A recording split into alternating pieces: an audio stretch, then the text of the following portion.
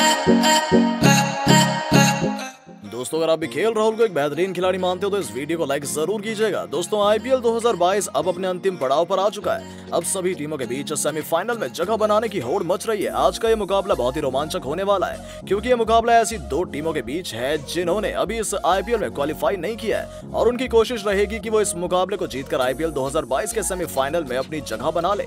ये मुकाबला point table में नंबर तीन पर मौजूद लखनऊ सुपर जायंट्स और नंबर छह पर मौजूद कोलकाता नाइट राइडर्स के बीच होने वाला है। ये मुकाबला दोनों टीमों के लिए ही खास है। अगर इस मुकाबले को लखनऊ की टीम जीतती है तो इनको सीधा सेमीफाइनल का टिकट मिल जाएगा। लेकिन अगर इस मुकाबले को कोलकाता नाइट राइडर्स की टीम जीत लेती है तो उनकी टीम एकदम से सेमीफाइनल में नहीं पहुंचेगी, क्योंकि उनकी टीम का सेमीफाइनल में पहुँचना इस बात पर निर्भर करेगा कि आईपीएल में दूसरी टीम, जैसे बैंगलोर, पंजाब और हैदराबाद, लगातार हारती है या नहीं। लेकिन फिर भी हम कह सकते हैं कि कोलकाता नाइट राइडर्स की टीम चौदह अंकों के साथ भी इस आईपीएल में क्वालिफाई कर सकती है। दोस्तों, अगर आप इस रोमांचक मुकाबले को लाइव देखना चाहते हैं तो ये मुकाबला आप साढ़े सात बजे से डिज्नी प्लस हॉटस्टार और स्टार स्पोर्ट्स के सभी नेटवर्क पर लाइव देख सकते हैं। ये मुकाबला doctor DY Patil Sports Academy, Mumbai के स्टेडियम में खेला जाएगा, जहाँ पर बताया जा रहा है कि स्पिन गेंदबाजों को थोड़ी सी मदद मिल सकती है।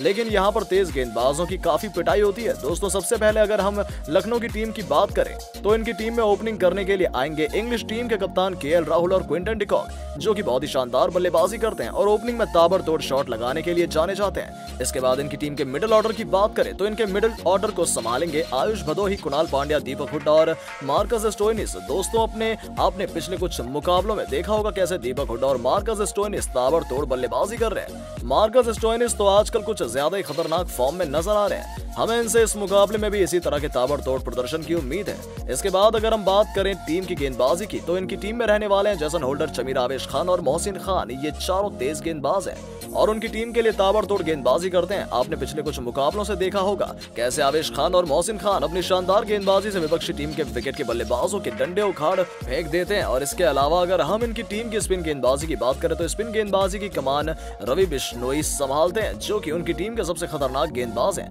ये माध्यम के ओवर में दो से तीन विकेट चटका कर अपनी टीम को ब्रेक थ्रू दिला देते हैं। इसके बाद कोलकाता नाइट राइडर्स की टीम की बात करें तो वेंकटेश अय्यर और अजिंक्य रहा ने अपने पिछले मुकाबले में देखा होगा कैसे इन दोनों बल्लेबाजों ने ताबड़तोड़ बल्लेबाजी की थी। हालाँकि बाद में वेंकटेश तो आउट हो गए थे, लेकिन अजिंक्य रहाणे ने नीतीश राणा के साथ मिलकर ताबड़तोड़ बल्लेबाजी की थी। इनके ओपनर बल्लेबाज इस मुकाबले में भी अपना जलवा दिखा सकते हैं और लखनऊ की टीम को पराजित कर सकते हैं। इसके बाद अगर हम इनकी टीम के मध्य क्रम की बात करें तो मध्य क्रम की ज़िम्मेदारी संभालते हैं नीतीश राणा, रिंकू सिंह और आंद्रे रसेल।